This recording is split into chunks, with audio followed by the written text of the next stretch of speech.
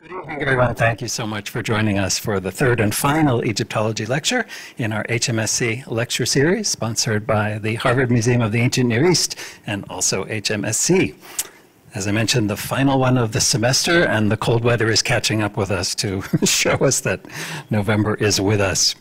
We are in for a special treat tonight. Patrizia Piacentini has been professor of Egyptology and Egyptian archaeology at the University of Milan since 1993. She's also a member of the Academy of the Lyncean in Rome, of the Ambrosiana Academy in Milan, and a corresponding member of the advisory committee of the Shanghai Archaeology Forum Chinese Academy of Social Sciences. In 2022, the Académie des Inscriptions et Belles-Lettres in Paris awarded her the Gaston Maspero Lifetime Achievement Award. I'm getting my language workout this evening. At the University of Milan, Dr. Piacentini sits on a variety of committees. She's been coordinator of the PhD program in Literature, Arts, and Environmental Heritage since 1999, she manages the scientific and organizational direction of the Egyptological Library and Archives, which she founded by collecting some spectacular archival collections and doing some impressive fundraising, making me, for one, very jealous. She's director of EIMAWA, if I'm pronouncing that right. What is that? It's the Egyptian Italian Mission at West Aswan, which excavates and studies a large necropolis used from the 6th century BCE to the 3rd century CE. She serves on scientific and presidential committees of Egyptological foundations and associations, including the Fondation Schiff Giorgini in Lausanne, and has been representative for Italy of the International Association of Egyptologists from 2015 to 2023. She was also invited as a Gale Visiting Fellow of Australian Centre for Egyptology, Macquarie University, in 2019 for lectures at Sydney, Melbourne, Adelaide, and Perth. Author of numerous monographs and scientific articles, she's organized Egyptology-themed exhibitions in various countries around the world and numerous conferences. She's also founder and editor of the journal EDAL, Egyptian and Egyptological Documents, Archives, and Libraries in Milan, and serves on the scientific or editorial boards of numerous journals, including Aegyptus in Milan. Tonight, we are very lucky to have her take us south for The Mummies of Aswan, The Missing Link.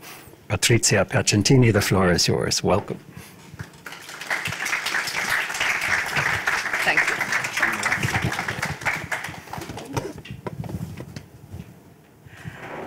So first of all, I have to thank uh, Peter, a, a, colleague and friend since uh, 30 years, so Professor Peter Der Manuelian, who invited me here, and uh, I'm very happy to be here with you tonight to present our work, current work in Aswan. Um, and, you know, I will tell you a nice story. Um, the place where we are working um, is um, a large cemetery that was discovered in, let's say, around 2015 um, following uh, emergency excavation because there were uh, thieves, modern thieves there. So the um, yeah, so the, um, the Egyptian Ministry of Foreign Antiquities called us to help them to um, to work on the site. In fact, it was not completely unknown uh, since uh, there were some tombs visible, there were some mummies around, a lot of pottery, and uh, already in 1902, we know that people went there to look for mummies. This uh, picture that you see, this photo is from 1902, and there are ladies, as you can see, going up, and on the back of the photo is written, searching for mummies. so we are just the last people around. So we go on, and uh, so we are in Aswan, that is uh, at the southern border of uh, Egypt. Oh, what is this? Is uh, here. Okay, we are here. And the place uh, where we are working is just around, I found, yeah, somewhere here, yeah, around the mausoleum of the Aga Khan III, which was established in uh, 1958.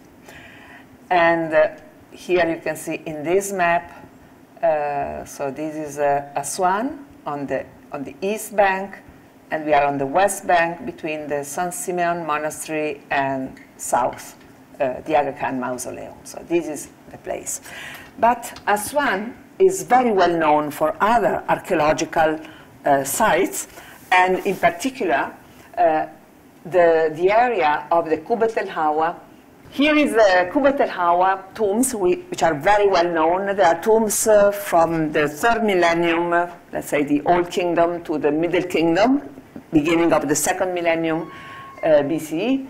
And they are known since uh, the 19th century is still excavated by um, Spanish and Australian teams. And then uh, uh, around, there are some tombs of the New Kingdom, that is of the second uh, part of the second millennium, and that are, were discovered not many years ago. Then a part that is not yet explored, this part. And then south of the hill, this is the area in which we work, this one. So it means that there were large, large, large cemetery uh, used for more than three millennia from the third millennium BC until the Roman times.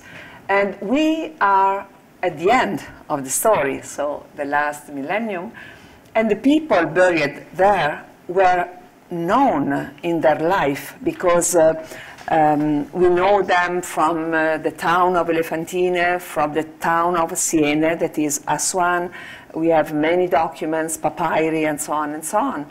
But what was missing were the tombs in which they were, um, uh, where they, they found their last place.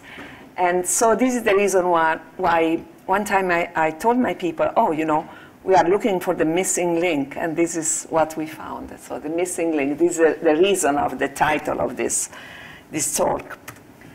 Um, the necropolis uh, is uh, around 100,000 square meters.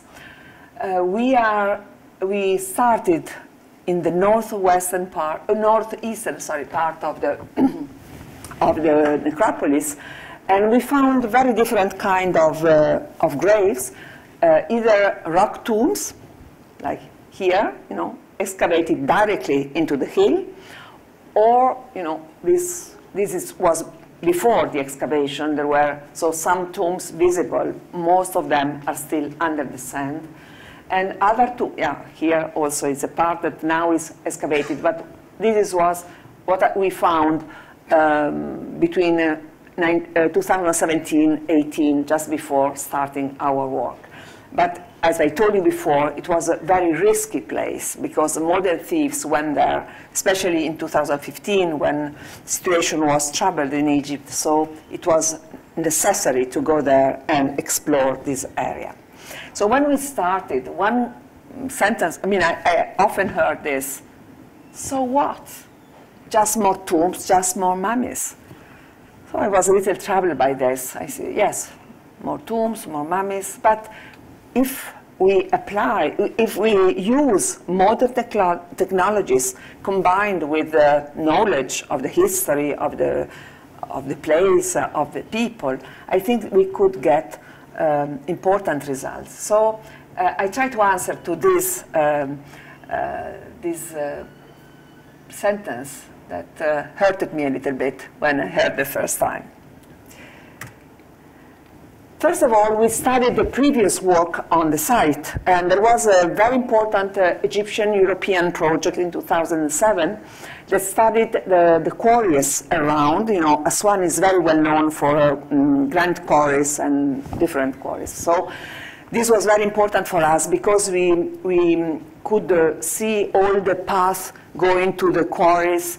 Um, everything was around. So this was the first step, and then um, I called geologists and geophysicians from my university. They came and they studied the composition of the rocks of the place where uh, we would have worked. So Fabio Bonad is the geologist uh, in chief of the team of geologists, and uh, good, good results. And also our colleagues, the Egyptians, uh, uh, start work, um, make a, a, kind of survey around just before we arrived because I was in Italy looking for money and uh, you know sort of organizing the team. So they excavated or they made a surface survey and they found many interesting items like you know uh, cartonnage uh, covered with gold, uh, some coffins in um, stone or in pot or pottery stones, and you know pottery, faience, uh, that is amulets, uh, wooden statuettes, and things like this. So it was really, really um, interesting, I think, to start. During the work of the Egyptian there, we constructed the team in Italy, and um, uh, just be because I didn't want just to find some more mummies, I, I organized this uh, um, multidisciplinary team. Uh, first of all, there is a radiological and anthropological uh, uh unit uh, to study in detail the, the mummies that we were supposed to find. Uh, there, there, are paleopathologists working with us to study eventually their disease, what they eat, what they, well, their life, let's say. There are chemists who are in charge of the study of, for example, the colors of the items we found, the carton, the, the bandages, everything, every object we found, we find, and also uh, the plaster on the on the inside the tombs and all the colors, everything we found. So they help us a lot. We have paleobotanists who study the, the plants and uh, the seeds and everything we found in this field. Uh, we have, of course, historians and Egyptologists, and in particular my PhD students and Egypt, Egyptian PhD students coming with us. And to organize all the enormous amount of data that we are collecting, uh, we have uh, um, um, experts in uh, computer sciences, so it's a very important unit um, working on the big data that we are collecting. In addition to this nucleus. This, this was the first uh, team. We, we have other units, so geologists, as I told you, uh, paleozoologists, uh, so zooarchaeologists, uh, of course, restorers, and then we add um, uh, topographers and expert in geomatics from the University of Bologna. they are very, very good, really good experts in this.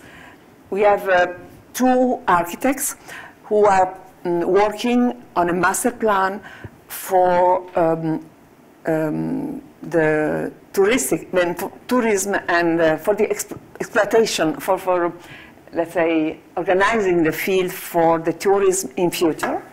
And the master plan now is done, and it's quite interesting.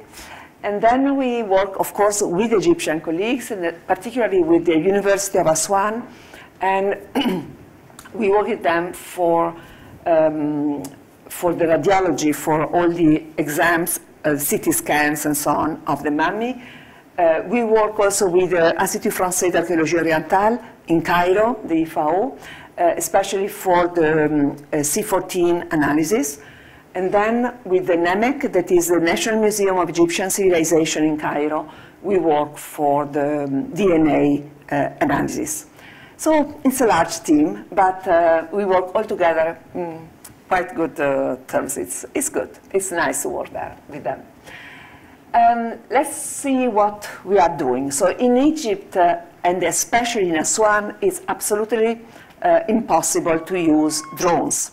So our topographers uh, had to use other uh, things, and they, we bought a lot of satellite images they work on them uh, to understand better the situation, general situation of the, of the place, but also uh, we, um, we check regularly, uh, let's say almost every week, uh, how the situation is um, about the thieves, because there are still thieves, could be thieves there. So we look at eventually, you know, some, no, this is okay, these are places that, where we excavated, but south of the mausoleum of the Aga Khan, we saw last year some holes uh, made by thieves. Uh, the Ministry of Tourism and Antiquities in Egypt asked us to uh, um, hire guards. We have five guards, 24 hours a day, uh, on the site. So they do what they can. And uh, since uh, their presence in, in situ, um, things are going much better. But we are always concerned about this. And, uh, but almost all the area is now secured. We put electricity there. It was not easy. Uh, you know, over there we have no water, no electricity, we have nothing. But now there is, so they can walk easily on the site, and uh, we hope at the end. Um, these are the work of the topographers. Uh, here you can see very well the area. This is the enclosure of the Aga Khan Mausoleum. This is the villa of the Aga Khan. So our work was, first of all, on the north, northeastern sector here, and then um, on the west, and then uh, we are starting on the, the, on the southern part of the, of the necropolis. As I told you, it's around 100,000 meters, and we really excavated on uh, more or less 25,000 square meters. Uh, this uh, um, red circle is a, a, tomb that we chose as a case study that we explored ex in, ex in detail for a couple of years, couple of missions, let's say, and I will show you later what, we, what were the results that we obtained.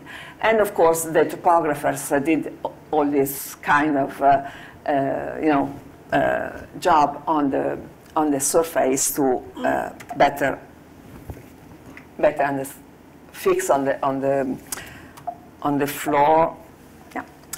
Okay, so this was the first map of the site. Here you can see uh, around 250 tombs on the plan. Uh, now we are um, we, we have uh, around 400 tombs on plan.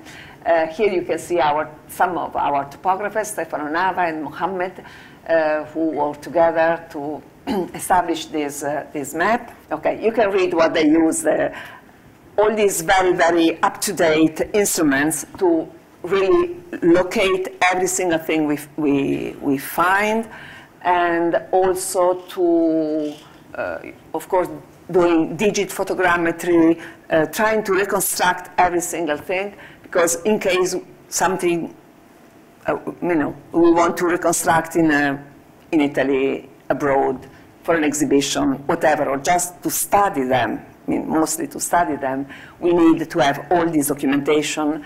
And uh, so this is a, a, large part of the work done by the, the um, engineering and the expert in geomatics. And, um, and also, part of the work is train to train the Egyptian colleagues uh, in all these uh, up-to-date techniques. So uh, Professor Gabriele Bitelli and um, his assistant, former assistant, now Professor Emanuele Mandanici, are really working on, uh, on the site for us, for the mission, but also to train uh, our inspectors in this kind of work with um, every year with new instruments and so on. And now they are fixing some uh, you know, they fix some points uh, so that the necropolis, even if one day it will be covered by sand or whatever, we will know exactly where the different tombs are. And this is our generator, and we are very proud of it. Finally, we have electricity on site. So, the, in fact, this was a case study I told you about, it's Tomb 26.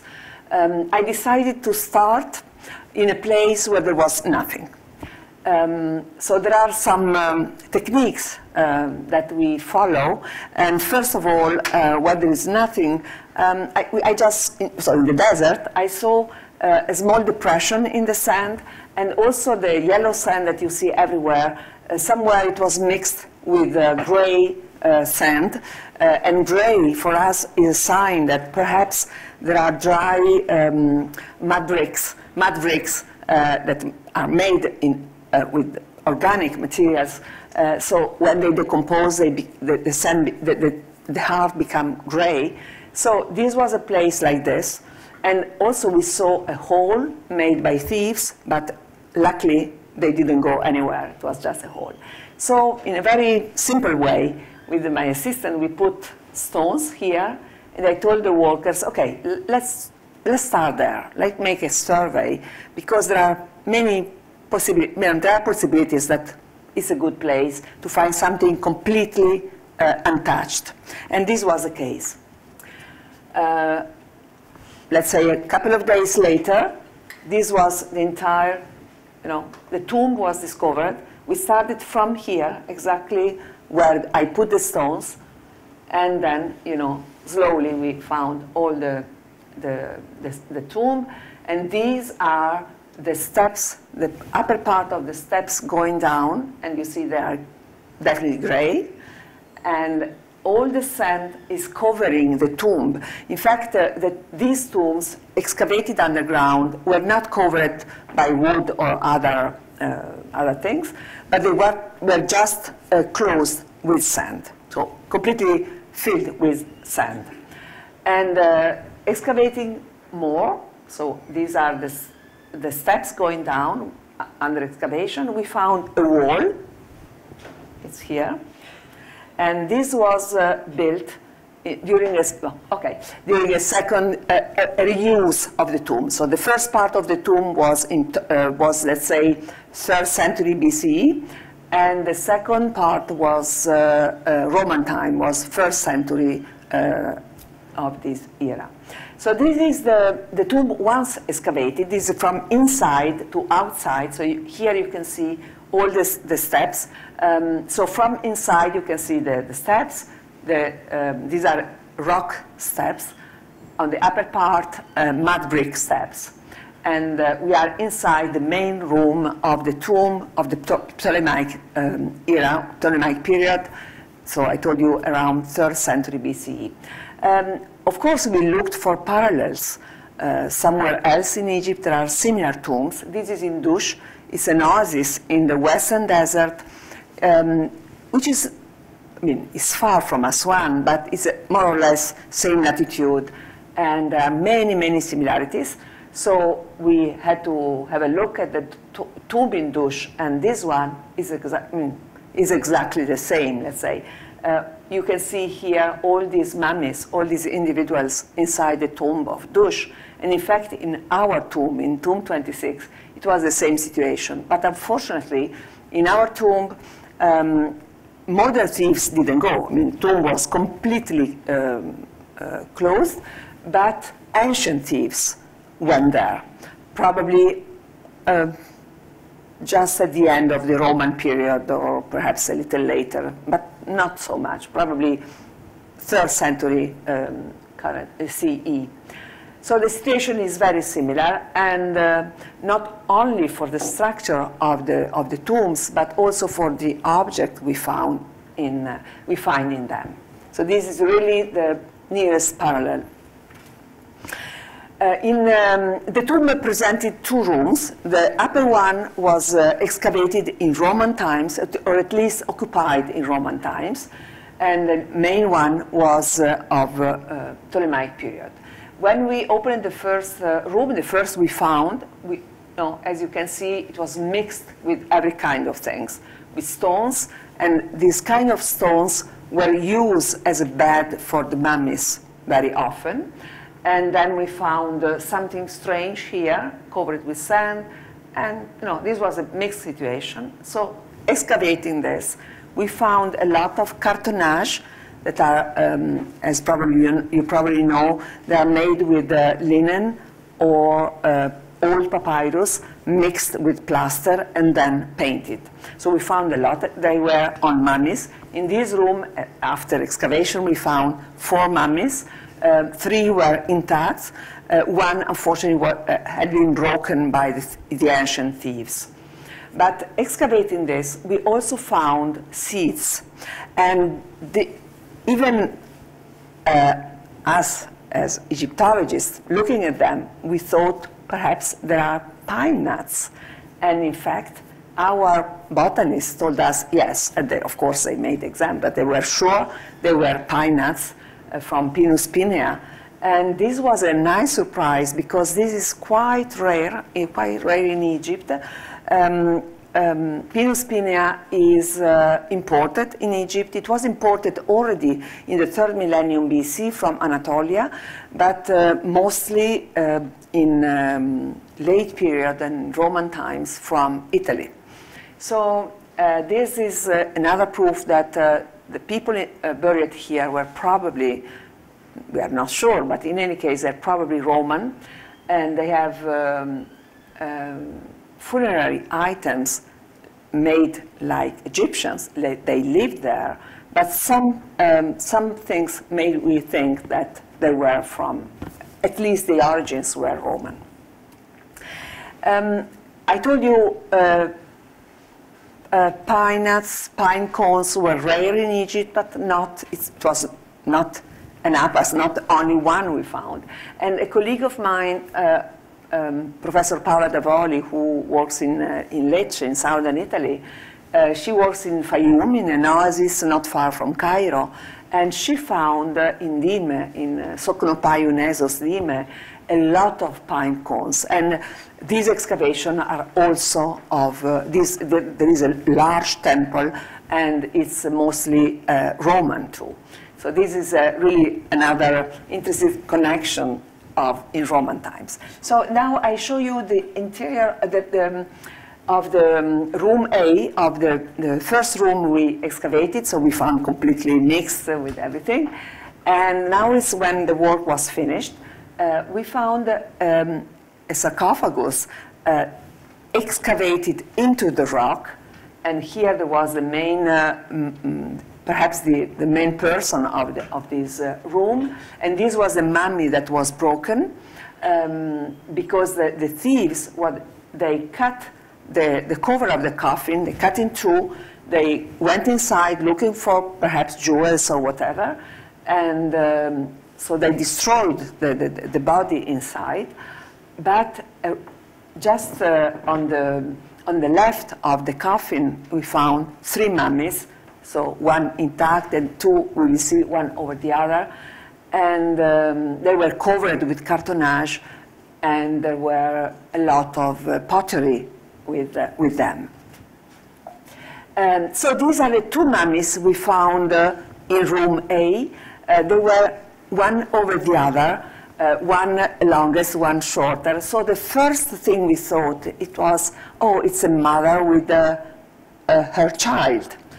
Uh, in fact, uh, uh, so and they are so now the, this is the moment in which we, we took out, uh, but they are clean now and they are intact. And in fact, uh, they were. Uh, we did a CAT scan, CT scan of them last last May, and in fact, we discovered they are not mother and child, but they are two children, two sub-adults. I mean, perhaps 13 and 11, something like this. And uh, so uh, the, the mother was a lady, just the other mummy just near them. And perhaps the father was the, the mummy, which was found uh, almost destroyed inside the coffin. So it's a family. Uh, we are not sure if they are, because they have still to go under uh, DNA analysis, but at least we know that we are not in front of mother and child, but of two children. And uh, so now um, these are the, the, the, the, work we, we, we did uh, during 2023, the last two missions.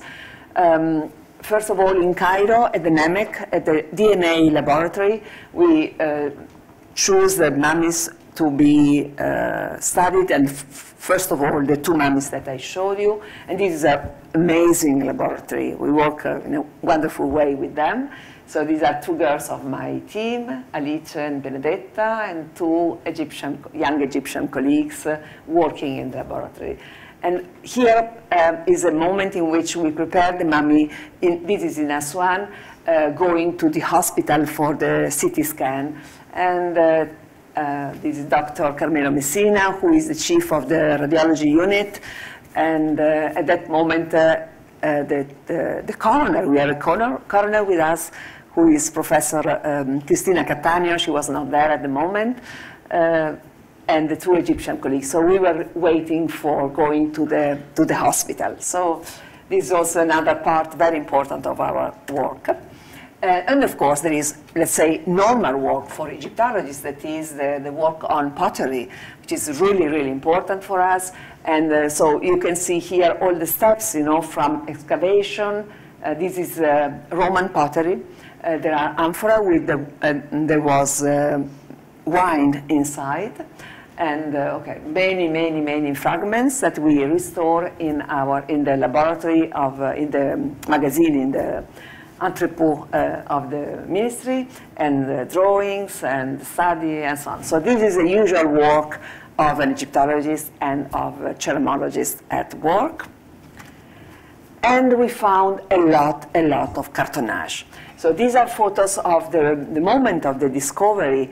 There was um, an angle, a, a corner of the, of the room B of the tomb 26 full of cartonnage. We found more than 25. That means that all, all the mummies were covered with cartonnage, but they were broken by the thieves, by the ancient thieves, to look for precious things or whatever. But they were not interested in cartonnage, so they left uh, on, on, one corner. And uh, so now we are very happy because we can study them really in detail and look for parallels and study the colors and study everything about these uh, uh items. Uh, so these are some of them out of the tomb. First uh, you know, moment when we cleaned. Most of them are covered with gold, as you can see here or here, or here, the nails, the sandals. I mean, this is all and different colors and gold. Then we um, bring them to the, to the inspectorate in Aswan, and this is the laboratory where they are restored and uh, studied. Um, but a lot of work is done on the site. And uh, so we have our uh, scientists, uh, you know, professors from University of Milan, uh, chemists who work on site and try to use their, uh, their instruments. It's difficult because the light is very, very uh, hard, very strong, and the heat is uh, important. Um, this is a normal day uh, in, in spring. You see 43, 42, 37 it was good, it was a good day. of course, it's Celsius, huh? 39, 44, 43, uh, this is uh, okay, but uh, we arrived also to 48 uh, um, Celsius uh, degrees, and at this point it's difficult for people, of course, for us, but it's very, very difficult for instruments. So this is a, a challenge for our our colleagues because they, they have to do something on site before moving the objects, but from time to time it's difficult. difficult. And of course, the final step is uh, in the inspectorate where they can work in a dark room and do what they have to do. And especially they have to study, they, they, I mean, they decided to study the colors used. And this is not just to know that it's red or blue or, or, I mean, or ochre or whatever, but uh, it's, it can be important also for the, I mean, they explain me, for the, the, the, kind of material use that can be imported, for example, let's say from uh, subtropical Africa, from the west, from the east. So we are looking also for the problem because Aswan is really a crossroad. The people mi are mixed there and they bring with them uh, many I mean, pottery or things, and, and they, they, bring themselves. So we are really looking for this cross-cultural milieu uh, that is uh, that was Aswan and that is still today Aswan. Um, so here just uh, some uh, some study they did. What is inter interesting is the use of the Egyptian blue, and uh, our chemist explained me that um, you know, when you use Egyptian blue is um, the first synthetic uh, color used in, uh, in, in, antiquity. And uh, this is a particular reaction it has with special lights, so they could recognize immediately what is Egyptian blue and what are other different uh, colors uh, used for this, uh, for decorating this cartonnage. And of course, it's useful to have uh, photogrammetry and other programs to reconstruct, to, I mean, to see the object at, on every side and um, to study and to show to our students when we are back from Egypt. So we did this for every single object and also for tombs. Uh, we have the, this kind of reconstruction for at least complete for two tombs, and we are completing uh, three other tombs. But all the objects have been uh, now reproduced in three, three dimension. So this is one of the, for me, one of the most important thing we found. Uh, in, also in tomb, in tomb uh, 26, um, we found, you know, wood, some pieces of wood. But when we saw them outside, we understood that it was a funerary bed. And the bed um, in the middle has a long, long uh, uh, text complete, exactly. I mean, you could read like a newspaper today. It was perfect. And um, a parallel to this uh, funerary bed, which is quite uh, often found in uh, in um, Ptolemaic tombs, uh, you can see in the Louvre Museum, this is just an example, uh, this is the, the, famous mummy of the Louvre, Belphegor, and uh, uh, you can see down the funerary bed is exactly like ours when it, uh, it will be reconstructed. So it's wood, and in the middle, I don't know if you can see here, this is the, the part inscribed. And our bed is exactly the same, and the mummy uh, that was on it was dressed like this one with cartonnage and the mask and so on. So it's really a parallel of our uh, uh, finding, and uh, it's clearly third, second uh, century BCE. And uh, um, we, we could know from this inscription who was probably the first owner of the tomb. Um, so I wrote that for the moment, for reading the text, we don't use, we don't, for the moment, AE, but we just copy the text, we, and then we do digital epigraphy like, like Peter. But for the moment, this was the moment in which I was so excited because we found this complete inscription. So we, I just copied it and, and translate, and it was a tomb, I mean, the, the funerary bed of Pamerich, the name is written here, uh, Pamerich, and his main title was the chief of the army of Aswan. And uh, the rest of inscription says that uh, um, his father um, um, made the same, had the same job. He was also chief of the army of Aswan, so he was an important, they were important people, and there, were, there is a name of the mother and so on and some um, funerary expression. But the, the, most important part is the name and the title of the owner. Um, so this was very easy to read. But uh, there are other inscriptions that we found which are not so clear. So we tried with our technician um, to um, uh, use, I mean, they use infrared, they use other uh, techniques to try to read better. From time to time it works, from time to time it doesn't. But uh, uh, we, we, go on and we try to read all the things that we find.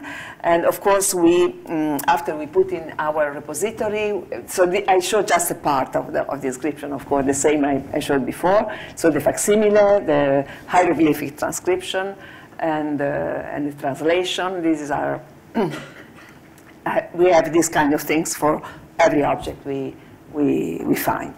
And these are our professor of uh, computer sciences who prepared this kind of uh, repository. We found also strange things, not uh, common things. Um, here we are in room B, and that is the, oldest room of the tomb 26. Um, what you see here is our commingled, um, you know, mixed uh, bones and bandages and objects and everything.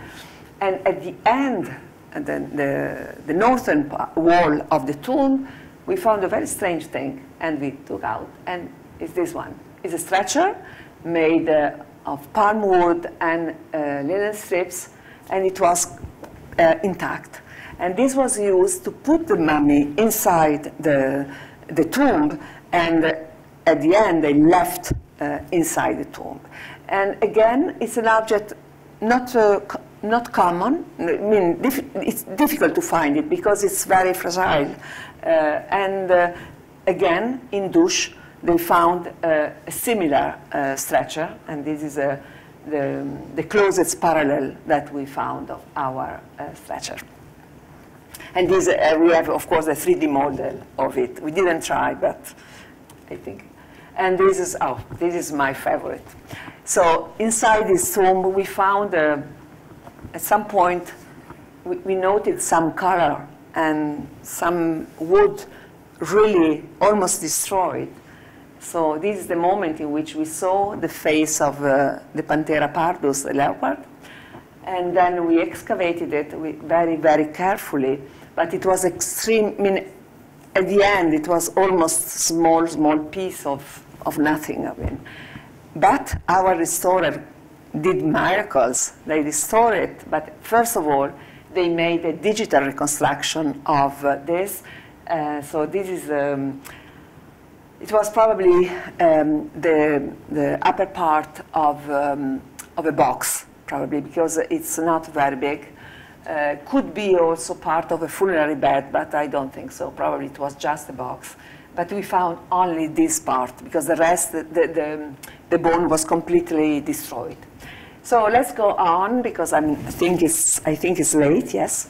Uh, so this is another kind of uh, of tomb we excavated. Uh, this is uh, in the lowest part of the necropolis, not far from the river, not far from the Embarcadero, in fact, the ancient Embarcadero. And this is a wadi, that is, is a kind of, uh, of path going up to the necropolis. And right in the middle, the, this was co almost completely covered by sand. There was just the upper part of a wall that was visible when we made the, the survey. Uh, so we decided to excavate here, and at the end, we found this structure, which is probably a place for cults, for, for offerings, and things like this. Uh, in fact, this wall in particular was covered by hundreds of animal bones, um, and especially there were rams. Uh, and uh, this is not strange because this was a common uh, offer and probably it was an offering place for at least one part of the necropolis. We never, um, we, let's say, until now, we didn't see anything like this in the necropolis. So um, we excavated the, the, place before this structure, uh, and then when cleaning inside, we saw that under the, the floor there was something and so we excavated more. And in fact, under the, this cultic place, we found a tomb. And this is the entrance of the tomb. So it was exactly here, under, under here. So uh, we went on. Uh, oh, okay. Before uh, going down, we excavated outside, and there was a mummy that, again, for sure by ancient thieves was kept out of the tomb. And on the mummy, we found a necklace, this one. And uh, our expert, Professor Cavagna, he's an historian, very expert in Greek inscriptions. He studied it, and we found another name. This time was a Greek one. It was Nicostratos. So now we are trying, so we found a Roman, uh, but with an Egyptian name. No, uh, no Roman in, in, the tomb, we have no names. The, the, um, uh, in, inside the Ptolemaic room of 26, we found Pamerich. Uh, here in 32, we found somebody with a Greek name, Nicostratos, and also the inscription to the Synnaoi Theoi, to, to all the, the gods, was um, in, uh, in this tomb under the cultic place. And this is inside. So this is very interesting. The tomb was, there was a fire inside the tomb. We think that probably the thieves, the ancient thieves, went inside with torches. At some point, everything burned. And um, so this is the entrance. And then inside, there are four galleries.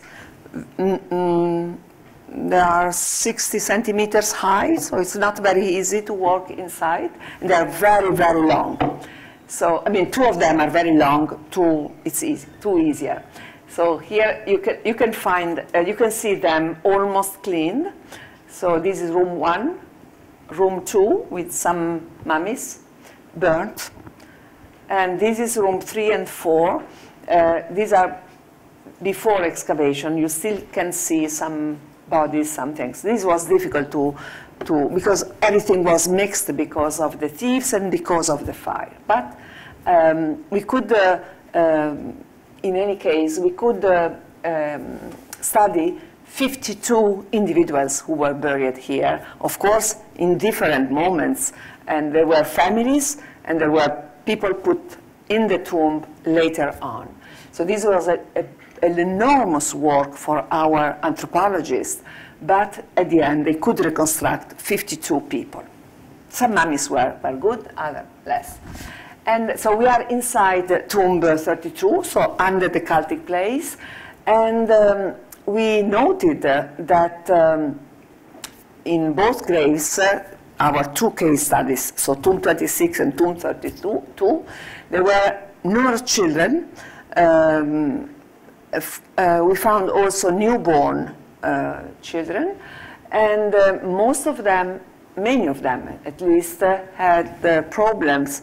Um, um, you know, these cribrotic lesions that are indicative of nutritional deficiencies and metabolic problems during growth. So these are very interesting to study for, an interesting chapter for our anthropologists because they are trying to study um, all the disease and the reasons why, the reasons why all these people, all these children died. Of course, it was normal at that time, uh, but, uh, but so many in these tombs are interesting. So we are still working on this and trying to understand uh, and also, we found, uh, um, especially in this tomb, in tomb 32, uh, families. So the, the man, the woman, and the child very often under the, the, the legs of the father or of the mother. So it was touching, I have to say, and, um, and it's a challenge. We, we I mean, anthropologists uh, and our coroners are working on this. So for each of them, this, uh, ah, this was the baby we found, the children we found uh, inside this coffin. This was really, it, it, was moved by the ancient thieves in front of the, of the entrance. And uh, so, first of all, we studied him uh, on site with a, a portable X-ray, and then uh, uh, he went to the, to the CT scan last May. So we I mean, uh, the doctors are studying every single thing uh, about him. And um, at, the, at the beginning, when we made um, X-ray on the site, we thought he had a, a, a, plaque or something on the chest. But in fact, uh, doing, doing a CT scan uh, last May, um, they, uh, the doctors understood that, they were just bones uh, that were not in, in, in situ, not in place anymore. So it was not something to read or, or other things inside.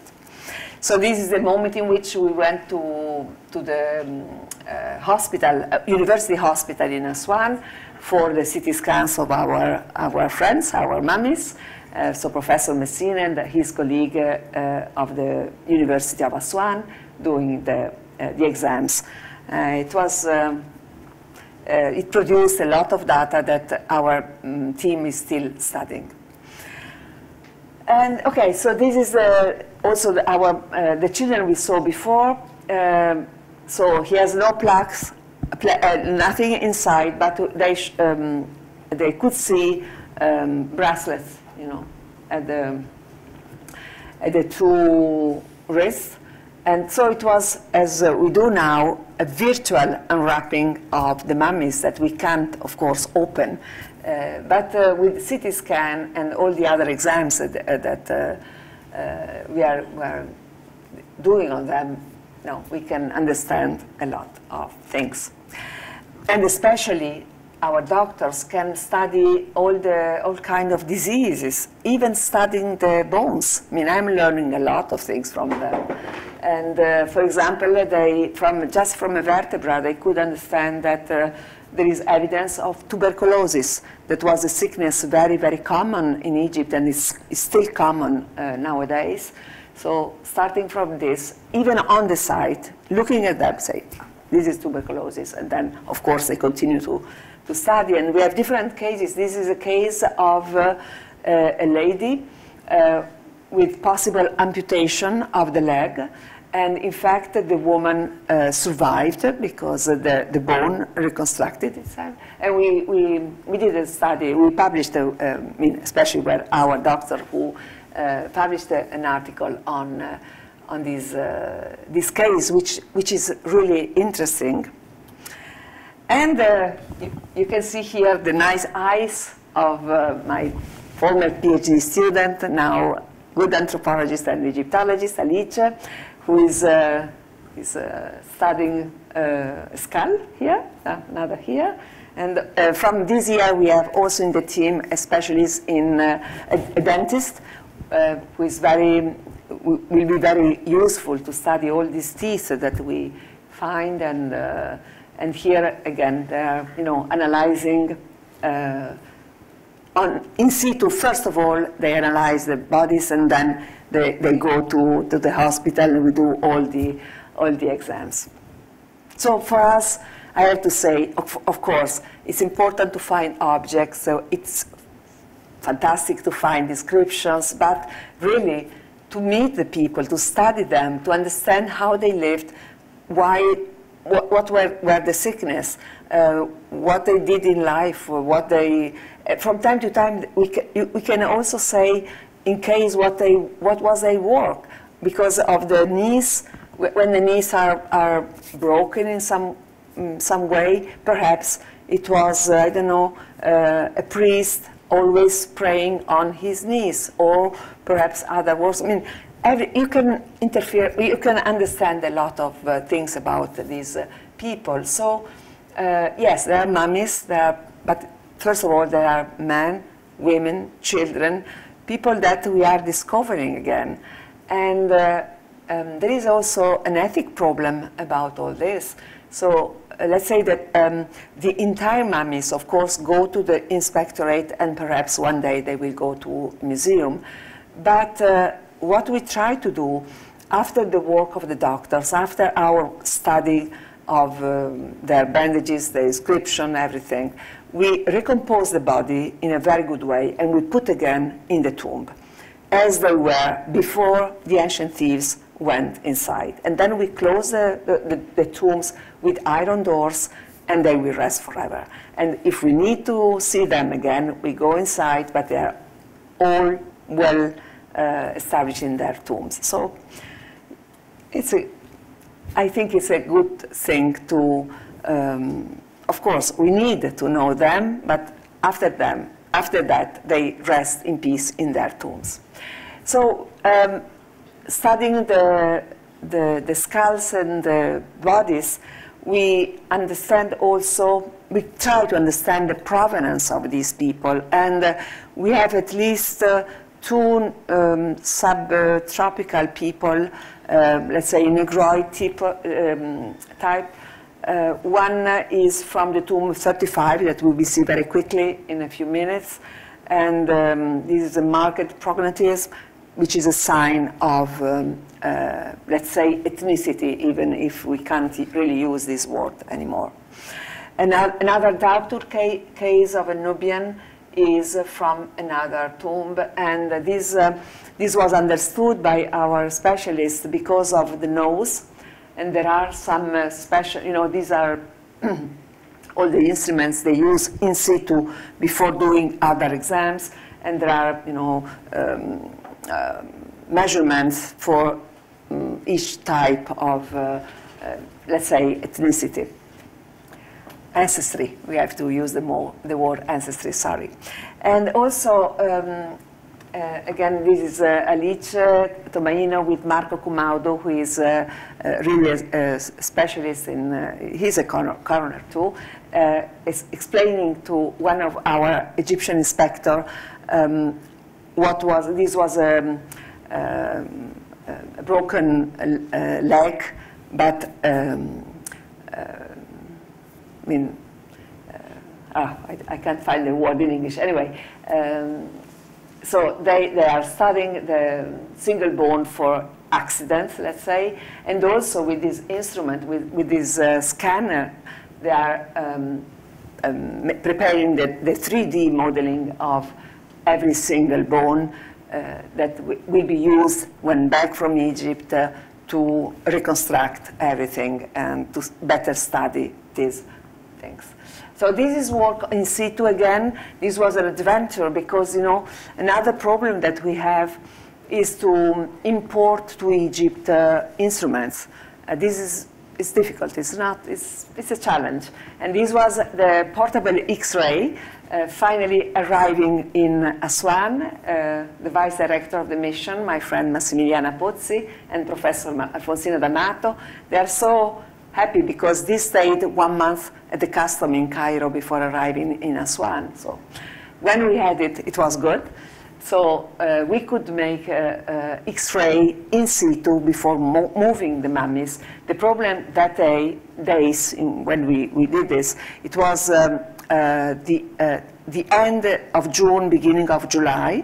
It was around 50 degrees Celsius, and the instrument could work until 50. 50 was the maximum. But it was okay, so we got the results, and we got the first uh, X-ray of all the bodies. Uh, so now, very, very quickly, the last, uh, the, uh, last discoveries, uh, other tombs uh, excavated in the northern part of the necropolis. This was interesting because we discovered that, that there were on terraces, but not only two, three terraces, as you can see in Middle Egypt or even in Luxor in other sites. We counted at least 10 terraces, 10 um, no, and uh, in every one there were um, at least uh, 10, 20 tombs, one near the other with a small court in front of them. So this is one, you can see, you know, on a terrace, so this is the court in front of, a small court in front of the tomb, and then down to uh, this tomb. This is 33. In fact, we couldn't excavate inside because uh, our geologists told us that it was too dangerous. So we couldn't go, we just go for a couple of photos and, and photogrammetry, but we couldn't excavate. So I think there, there is not a treasure of Tutankhamun down, but it's not excavated. So, but I think there was I mean, not, not a lot of things. Uh, just under 33, we found the tomb 34. Uh, so, and you can see the terrace is here. This is another terrace. And this will be another one. You see the Nile there, so we are not far from the Embarcadero. And in fact, here is the cultic place. It's, it's 32 with the tomb under it. So it, this is the northern part of the necropolis, the nearest to the Embarcadero, to the Nile. Uh, inside this tomb, in which we, we, we could go, um, there are uh, two uh, rooms under, um, um, under the, the, the, the, ground, and there were five, five, six mummies inside. One of them was uh, with Nubian type. And again, we see the terraces excavated uh, last March and May, so the, during the last two campaigns. And what we will do in the next campaign, probably in February, March of the next year, we will continue on these terraces to, um, we, will, we are trying to clean all the hill down to the Nile. And in the same time, we will go up to the top of the hill to continue excavating the, um, uh, probably the most important tombs. We understood that uh, on this part, this, uh, on the terraces, there are probably I don't, I don't say low class people, but less important people, while at the top of the, of the hill, there were really the important persons. There was Pamerik, the chief of the army of Aswan. There were, know, the most important officials on the top. And yeah, just to finish, again, uh, a tomb really of a, a, modest tomb, not very important tomb. The last one we excavated, tomb 35, it's uh, with a, as usually with a small court in front. These were two small tombs with uh, just a couple of mummies inside. They were very, very small with uh, not a lot of things. And I want to, to conclude, I have just two, three uh, slides more. Uh, this, I think, is one of the most important tombs of uh, the necropolis until now. This was, uh, I mean, as you see for the number, this is tomb 18, and this was excavated uh, uh, at the beginning. And um, it's extremely important because this tomb was of uh, Persian time. It is, it's at the end of the 6th century BCE. It's on the front of the hill, uh, and uh, as you can see, it's a small tomb with a small court in front, but still the decoration is preserved. The style is not really Egyptian. I mean, the subject is Egyptian, but the style is not. And, and what, uh, I mean, I showed you just a little bit here. Uh, there is an Aramaic inscription. Uh, so Aramaic was the official language of, um, of the time, and um, um, it's extremely rare in Egypt to find this kind of inscription in tombs.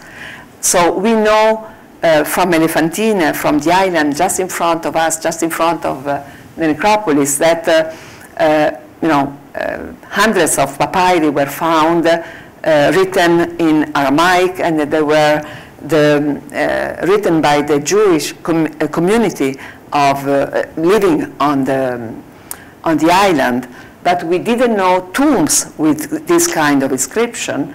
And so this is one, and I left for the, for almost for the end.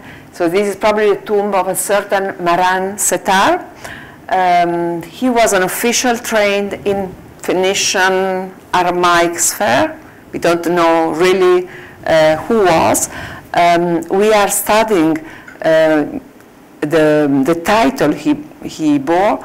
Um, it's, the description is difficult, so the, the professor of Semitic studies working with us is still working on it, but um, we still hope to find other tombs of this period. But this is the reason why we can say that the necropolis was used from the Persian times, so 6th century, end of the 6th century BCE, until at least the 3rd century CE, while the Christian tombs, the Coptic tombs, are northern, near, um, mm, near to the monastery of San Simeon. But 1,000 years of, of people, of tombs we have here.